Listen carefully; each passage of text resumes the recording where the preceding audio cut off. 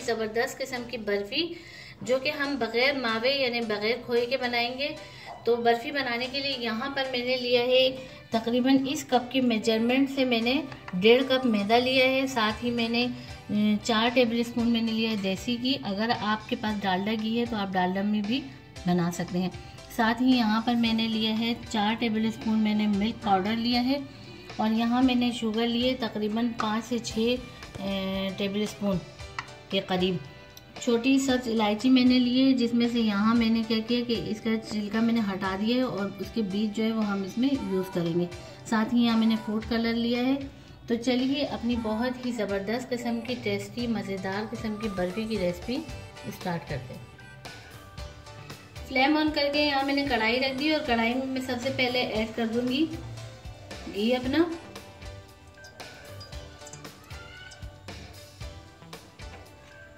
साथ ही मैं इसमें ऐड कर दूँगी मैदा।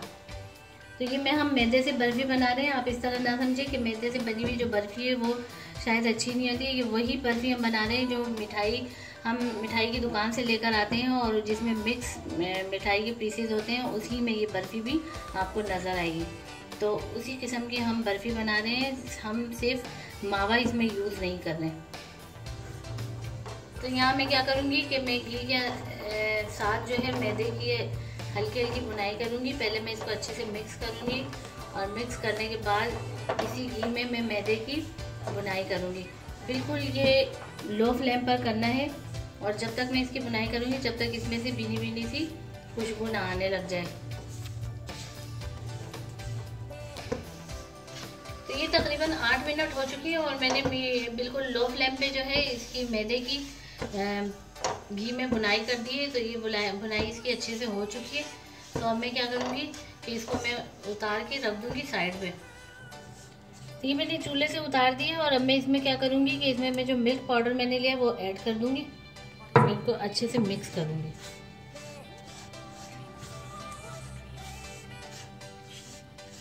इनको इस तरीके से मिक्स करना है कि बिल्कुल आपस में दोनों जो है यकजान हो जाए। क्योंकि हम बर्फ़ी जो बना रहे हैं तो हम बिल्कुल जैसे मिठाई की दुकान पे होती है सेम वही बर्फ़ी हम बनाएँगे। सिर्फ़ हम इसमें जो है मिल्क नहीं डाल रहे हैं और मिल्क पाउडर डाल रहे हैं और साथ ही हम इसमें मावा नहीं इस्तेमाल कर रहे हैं। लेकिन इसका टेस्ट बिल्कुल वैसे ही होगा जैसे हलवाई की दुकान की जो मिठाई, बर्फ़ी होती है। तो ये देखिए मिल्क पाउडर मैंने इसमें अच्छे से मिक्स कर दिया है। तो अब मैं इसको यहीं रख के छोड़ देती हूँ और हम इसकी बनाते हैं चाशनी। तो यहाँ पर चाशनी बनाने के लिए यहाँ पर मैंने पैन रख दिया। पैन में मैं ऐड कर दूँगी पानी। ये पानी भी जिस कप के मेज़रमेंट से मैंने मैदा लिया था तो उस कप के हाफ़ मैंने पानी लिया और साथ ही मैं इसमें ऐड कर दूँगी इलायची के जो मैंने दाने निकाले थे, वो मैं ऐड कर दूँगी।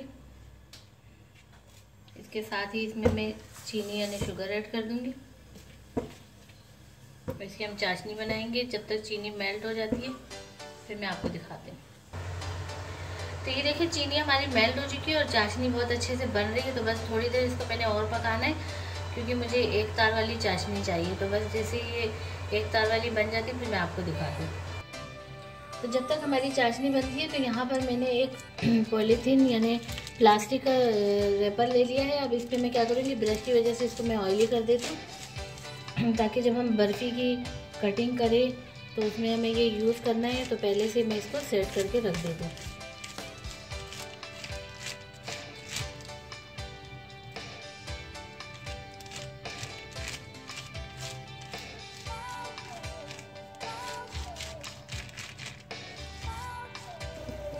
तो ये देखिए, चाशनी हमारी बिल्कुल तैयार हो चुकी है परफेक्ट तो अब मैं यहाँ पे क्या करती हूँ कि इसको उतार दूँगी मैं चूल्हे से।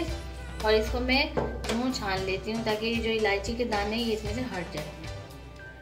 क्योंकि मैं इससे इलायची के जो दाने हैं, वो मैंने स्टिन कर लिए हैं कि चाशनी मैंने हटा दिए। और बस अब मैं क्या करती हूँ। तो अब मैंने क्या करना है कि ये चाशनी जो है, मैंने यहाँ जो मैदा जो घी में जिसकी बुनाई की थी तो मैं मैदे में ये थोड़ी थोड़ी चाशनी डालती रहूँगी और इसका मैं मिक्स करती रहूँगी।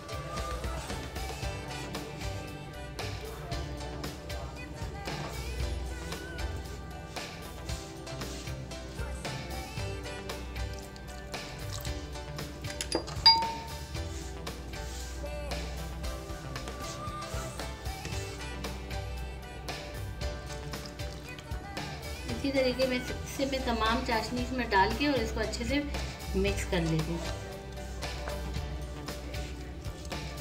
ये देखिए, अच्छे से मैंने मिक्स कर दिया और अब इसको मैं दोबारा चूल्हे पे रख दूँगी।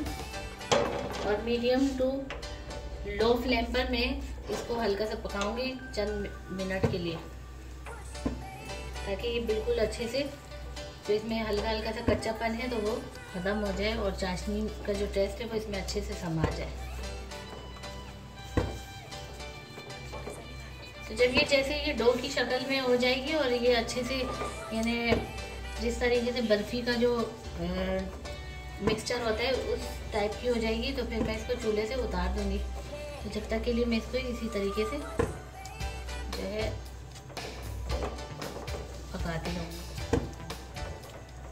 और हाथ रोकना नहीं है। क्योंकि हमें नरम डो नहीं चाहिए नॉर्मल डो होनी चाहिए।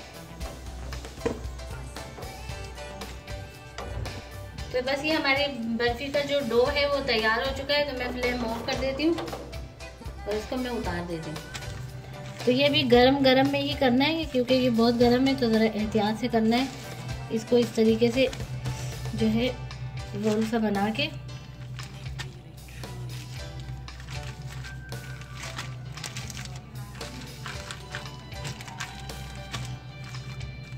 इसको मैं दो हिस्सों में इस तरीके से कटिंग कर दूँगी। दो हिस्सों में इसको मैं कर दूँगी। अब एक हिस्सा जो है वो मैं वैसे ही छोड़ दूँगी और जो दूसरा हिस्सा है तो इसमें मैं क्या करूँगी कि जो मैंने फ़ूड कलर लिया था तो इसको फ़ूड कलर इस तरीके से मैं लगाऊँगी।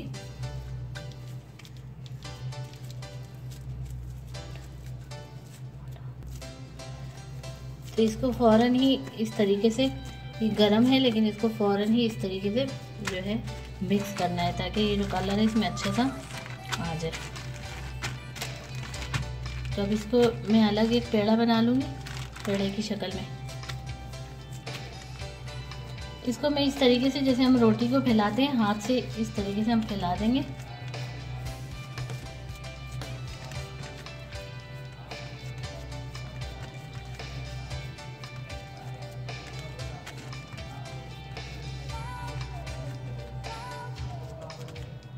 और दूसरे साइड पे जो है तो इस वाले को भी इसी तरीके से मैं जैसे रोटी का पेड़ा होता है इस तरह बना के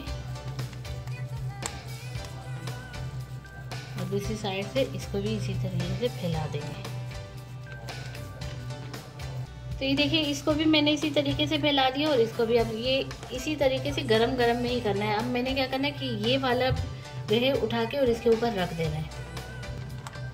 अब मैं इसी प्लास्टिक का जो वो है वेपर है, उसी के ज़रिए मैं इसको, इसके ऊपर रख दूँगी। और अब मैंने क्या करना है कि इसको मैंने फोल्ड करना है। रोल की शक्ल में।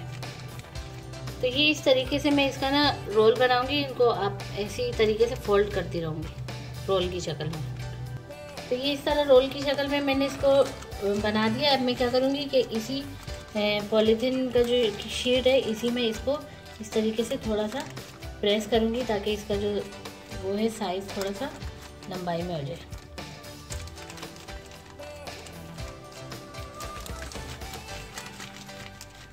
तो ये देखिए, इसके साइज़ जो है लंबाई में थोड़ा सा बड़ा हो गया। तो ये देखिए, इस तरीके से हमारा रोल की शक्ल में बन चुका है। अब मैं क्या करूँगी, इसी पॉलीथीन शीट में मैं इसको अच्छे से फोल्ड करके और इसको मैं रख दूँगी। थोड़ा सा रेस्ट दूँगी ताकि ये अच्छे से जो है सख्त हो जाए। फिर मैं आपको दिखाती हूँ। तो ये एक घंटे के लिए मैंने रख दिया था आ, सेट होने के लिए। तो ये देखिए एक घंटा बाद मैंने इसको निकाल दिया है तो मैं ये पॉलीथीन शीट जो है ये मैं हटा देती हूँ।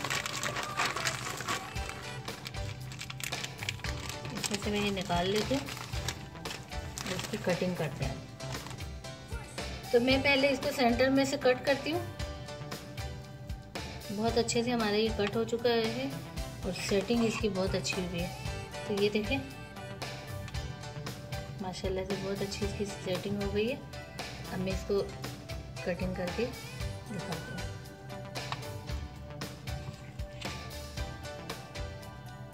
आप अपने मर्ज़ी के मुताबिक जितना आप मोटा चाहते हैं या पतला चाहते हैं, उसी तरीके से आप इसकी कटिंग करें।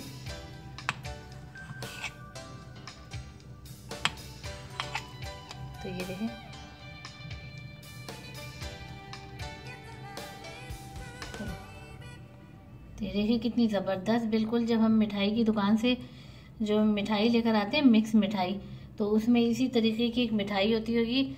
आप देखेंगे तो आपको याद भी आ जाएगा। तो ये हमने वही बर्फ़ी बनाई है, जो आम मिठाई की दुकानों में बनती है। सिर्फ़ हमने इसमें मावा नहीं डाला है, और वो लोग जो दूसरा दूध डालते हैं इसमें, यानी आम जो खुला दूध डालते हैं, वो हमने इसमें नहीं डाला है। और बाकी हमने जो है, बिल्कुल इसी तरीके की इसका जो टेस्ट है ना, जिस जिस तरीके से इसकी लुक प्यारी है, इसी तरीके से इसका टेस्ट भी बहुत ही ज़बरदस्त है।